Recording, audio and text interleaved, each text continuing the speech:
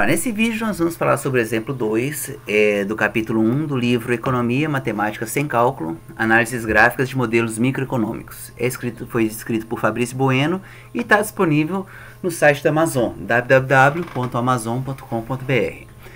É, bom, nós usamos o software GeoGebra para fazer essa análise, análise gráfica. Então, o que, que o enunciado desse exemplo diz? Uma pequena indústria tem um custo fixo de 150 unidades monetárias. Atualmente, ela produz 15 unidades de um bem. Obtenho o custo fixo médio e analiso o gráfico de ambos os custos, tanto fixo quanto médio. Então, eu venho no GeoGebra, tá? o custo fixo, tá? embora ele seja constante, né? é sempre, sempre 150 nesse exemplo, eu vou usar a anotação de função aqui, certo? Que é o que a gente tem usado até então e vai continuar usando durante todo o livro. Então, olha lá, ele gerou uma curva, eu vou ter que é, mexer novamente na escala para a gente poder enxergar. Então ele produz, produziu uma reta, né, na verdade, em cima do valor 150. Isso é, não importa o valor de que, tá, a quantidade produzida, o custo vai ser sempre, o custo fixo vai ser sempre 150. Já o custo fixo médio, tá, qual que é a fórmula dele? Ele, com base na variável Q, ele pega esse custo fixo, a gente sabe que vai ser sempre, sempre 150, e divide pela quantidade. Ele gera esse gráfico. Esse gráfico, tá? Essa, essa função, ela tem um gráfico tanto no primeiro quanto no terceiro quadrante. Só que aqui são valores negativos, tá? Nós não temos quantidades negativas né, na prática. Então nós vamos levar em conta só essa primeira parte aqui do gráfico, do, do, esse, esse primeiro quadrante, né?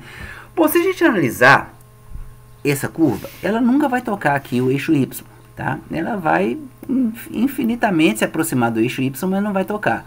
Por quê? Tá? Porque que acontece? Se, à medida que, eu, que, a quantidade for se aproximando de zero, certo?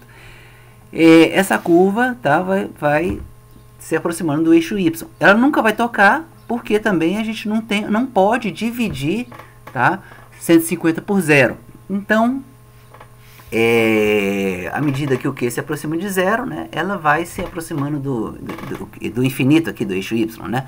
Mas é uma característica matemática pelo fato dessa divisão. A gente sabe que é, se a, a, a, a indústria não produzir nenhum bem, não faz sentido a gente calcular o custo fixo médio. Já que do lado direito, tá, ela decresce infinitamente. Por quê? Olha só, por um custo de uma unidade, o custo fixo médio de uma unidade vai ser 150. De duas unidades, 75. De três, vai sempre diminuindo. 3, 4, 5. Quando chegar a 10 mil, esse custo vai ser pequeno. Quando chegar a 1 milhão de unidades produzidas, esse custo fixo médio, isso é 150 dividido por 1 milhão, vai ser um valor irrisório. Tá? Então, à medida que a quantidade tende ao infinito, o custo fixo médio tende a zero. Então, é, são, são duas características que compensa a gente visualizar nessa curva. Bom, é, ele pede no exercício especificamente custo fixo médio tá, para 15 unidades. Vai ser um custo de 10. Então, se eu pegar aqui 15 unidades, deixa eu tirar um pouquinho o zoom, certo? 15 unidades. Olha lá, 15 apareceu agora. 15 unidades, tá? Vai ser equivalente a um custo de 10. Seria ponto, tá? Vou tentar gerar ele manualmente aqui, ó. Quase que na mosca, 14,98, certo? Então, ele vai ser exatamente, tá? O valor de, de 150 dividido por 15, certo? Que vai dar 10. Então, seria esse ponto aqui, ele encontraria uma correspondência no eixo Y de, de valor 10. Então essa é a análise que a gente faz do custo fixo, que na verdade é uma reta, né? e o custo fixo médio, que ele tem essas características que foram citadas.